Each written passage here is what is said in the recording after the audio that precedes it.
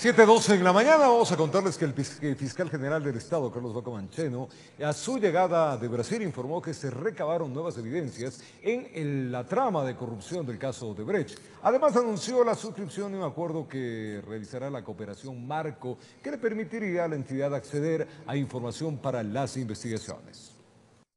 El anuncio lo hizo en rueda de prensa el fiscal general del Estado, Carlos Vaca Mancheno, a su regreso del segundo viaje a Brasil. Informó que tras las reuniones y diligencias mantenidas en los últimos días, se recabaron nuevas y fundamentales evidencias sobre estos actos de corrupción y sus partícipes.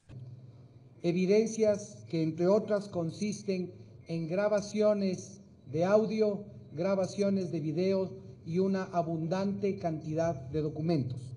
Señaló que las evidencias serán sometidas a procesos de verificación y a las pericias correspondientes para que sean incorporadas dentro de las investigaciones que vincularían a nuevas personas. Evidencias que van a permitir que estos actos de corrupción sean sometidos a juicio y sus partícipes llevados ante la justicia, tanto de personas que ya han sido procesadas o que ya están siendo investigadas, como potencialmente de nuevos involucrados en esta trama de corrupción. Vaca Mancheno también se refirió al acuerdo de cooperación en materia penal suscrito con la empresa Odebrecht con el fin de acceder a información en este caso.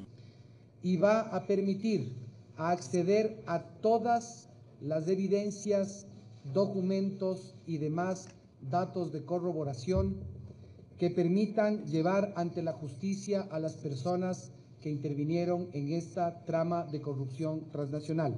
De ninguna manera y bajo ningún concepto, este convenio de cooperación suscrito con la empresa concede inmunidad a ninguna persona. El fiscal general aseguró que Odebrecht no sería la única empresa que estaría involucrada en una trama de corrupción entre empresarios privados y funcionarios públicos. En Quito informó Adriana Rojas.